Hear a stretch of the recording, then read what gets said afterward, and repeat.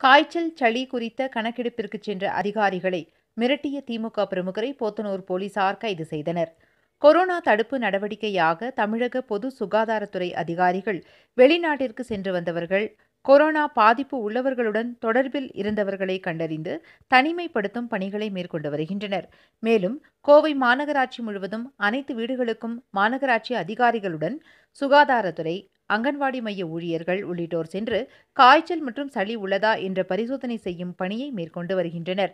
இந்நிலையில் நேற்று கோவை கரும்புக்கடை அருகே மூன்று பெண் சுகாதாரத்துறை மற்றும் அங்கன்வாடி ஊழியர்கள் கணக்கெடுப்பிற்கு சென்றனர். அப்போது அதே பகுதியைச் சேர்ந்த திமுக பிரமுகர் இஸ்மாயில் என்பவர் பெண் ஊழியர்களை அவதூறாக பேசி அங்கிருந்து வெளியேறுமாறு மிரட்டியுள்ளார்.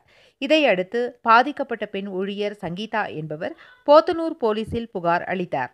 இதையடுத்து கோவை சாரமேடு பகுதியைச் சேர்ந்த திமுக பிரமுகர் இஸ்மாயில் என்பவரை போத்தனூர் போலீசார் கைது செய்தனர்.